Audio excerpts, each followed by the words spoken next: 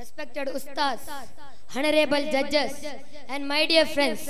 Today, I would like to say about my beloved Prophet Muhammad Mustafa sallallahu alaihi wasallam. Prophet Muhammad Mustafa sallallahu alaihi wasallam was a great leader.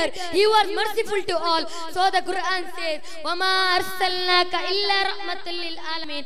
Not only the Quran, all the Sahabas there love my beloved Prophet Muhammad Mustafa sallallahu alaihi wasallam. So the father of our nation, Gandhiji says, Prophet Muhammad Mustafa sallallahu alaihi wasallam was not only a prophet but a girl scientist of the world. By this we can know Prophet Muhammad Mustafa sallallahu alaihi wasallam was loved by Muslim and also non-Muslim. Prophet Muhammad Mustafa sallallahu alaihi wasallam taught here a lot of message. The message of mercy, the message of sympathy, the message of empathy, the message of life, the message of friendship. By this I conclude my speech. Before I conclude my speech, I want to say thoughts of Allama Iqbal.